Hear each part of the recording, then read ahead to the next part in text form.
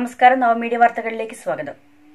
Covid പശ്ചാത്തലത്തിൽ വിദേശ രാജ്യങ്ങളിൽ കുടുങ്ങിക്കിടക്കുന്ന പ്രവാസികളെ നാട്ടിലെത്തിക്കുന്നതിനുള്ള പദ്ധതിയായ വന്ദേ ഭാരത് ദൌത്യത്തിന്റെ ആദ്യഘട്ടത്തിൽ കേരളത്തിലേക്ക് എത്തിയത് അയ്യായിരത്തി എണ്ണൂറ്റി പതിനഞ്ച് മലയാളികളാണ്. രണ്ടാം ഘട്ടത്തിൽ ഗൾഫ് രാജ്യങ്ങളെ കൂടാതെ മറ്റു പല രാജ്യങ്ങളിലേക്കും വന്ദേ ഭാരത് ദൌത്യം വ്യാപിപ്പിച്ചിട്ടുണ്ട്. ജൂൺ രണ്ടാം തീയതി വരെ കേരളത്തിലേക്ക് മുപ്പത്തിയെട്ട് വിമാന സർവീസുകൾ രണ്ടാം ഘട്ടത്തിൽ ഉണ്ടാകുമെന്നാണ് പ്രതീക്ഷിക്കുന്നത്. ഈ രണ്ടാം ഘട്ടത്തിൽ ഏകദേശം ആറായിരത്തി അഞ്ഞൂറ്റി മുപ്പത് മലയാളികളെ കേരളത്തിലേക്ക് എത്തിക്കാനാകുമെന്ന് കരുതുന്നു. വിശദമായ റിപ്പോർട്ട് കാണാം.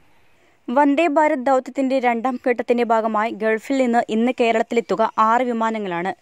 ദുബായിൽ നിന്ന് കൊച്ചിയിലേക്കും കുവൈറ്റിൽ നിന്ന് തിരുവനന്തപുരത്തേക്കും സലാലിൽ നിന്ന് കോഴിക്കോട്ടേക്കും റിയാദിൽ നിന്ന് കണ്ണൂരിലേക്കും മസ്കറ്റിൽ നിന്ന് കണ്ണൂരിലേക്കും മസ്കറ്റിൽ നിന്ന് കോഴിക്കോട്ടേക്കും സർവീസുകളുണ്ട്. ദമാമിൽ നിന്ന് ബംഗളൂരു വഴി ഹൈദരാബാദ് ജിദ്ദയിൽ നിന്ന് വിജയവാഡ വഴി ഹൈദരാബാദ് സർവീസുകളുമുണ്ട്. മസ്കറ്റിൽ നിന്ന് ബംഗളൂരുവിലേക്കും ഇന്ന് വിമാന സർവീസ് ഉണ്ടാകും. ദോഹ വിശാഖപട്ടണം ദോഹ ഹൈദരാബാദ് വിമാനങ്ങളും സർവീസ് നടത്തും. ഇതുകൂടാതെ ലണ്ടനിൽ നിന്നുള്ള വിമാനം മനിലയിൽ നിന്നുള്ള വിമാനം ഇന്ന് കൊച്ചിയിലെത്തുന്നുണ്ട്. ഗൾഫിൽ നിന്ന് നാല് വിമാനങ്ങളാണ് ഇന്നലെ കേരളത്തിലെത്തിയത്. കുവൈറ്റിൽ നിന്ന് കണ്ണൂരിലേക്ക് പോയ എയർ ഇന്ത്യ എക്സ്പ്രസ് വിമാനം നൂറ്റി എൺപത് യാത്രക്കാരെ എത്തിച്ചു. ദോഹയിൽ നിന്ന് കണ്ണൂരിലേക്ക് എത്തിയ എയർ ഇന്ത്യ എക്സ്പ്രസിൽ നൂറ്റി എൺപതിലേറെ യാത്രക്കാരുണ്ടായിരുന്നു. റിയാദ് കോഴിക്കോട് വിമാനത്തിൽ കുട്ടികൾ ഉൾപ്പെടെ നൂറ്റി അൻപത്തിരണ്ട് പേരെത്തി. ദമാം കൊച്ചി വിമാനത്തിൽ നൂറ്റി നാൽപ്പത്തിമൂന്ന് പേരാണ് മടങ്ങിയത്.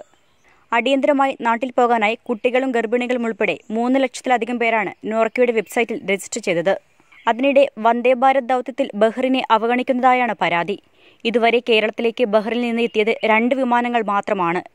രോഗികളും ഗർഭിണികളും അടക്കം ഇരുപതിനായിരം പേർ രജിസ്റ്റർ ചെയ്ത് കാത്തിരിക്കുമ്പോൾ രണ്ടാം ഘട്ടത്തിൽ ഇനി ഒരു സർവീസ് മാത്രമേ നാട്ടിലേക്കുള്ളൂ. അർബുദ രോഗികൾ ഗർഭിണികൾ തൊഴിൽ നഷ്ടപ്പെട്ടവർ തുടങ്ങി അടിയന്തരമായി നാട്ടിലെത്താൻ ഇരുപതിനായിരം പേരാണ് ഇന്ത്യൻ എംബസിയിൽ രജിസ്റ്റർ ചെയ്തത്.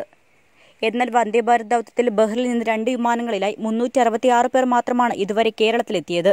ഒന്നാം ഘട്ടത്തിൽ ദൌത്യത്തിന്റെ ഭാഗമായി കേരളത്തിലെത്തിയത് അയ്യായിരത്തി എണ്ണൂറ്റി പതിനഞ്ച് പേരാണ്. ഒന്നാം ഘട്ടത്തിന് ശേഷമാണ് ഗൾഫ് രാജ്യങ്ങളെ കൂടാതെ വിവിധ രാജ്യങ്ങളിലേക്ക് പദ്ധതി വ്യാപിപ്പിച്ചത്. ഗൾഫ് രാജ്യങ്ങളെ കൂടാതെ Philippines Malaysia U K U S Australia France Indonesia Armenia Tajikistan Ukraine Ireland Italy Russia Singapore എന്നീ രാജ്യങ്ങളിൽ നിന്ന് വിമാനങ്ങൾ കേരളത്തിലേക്കെത്തും.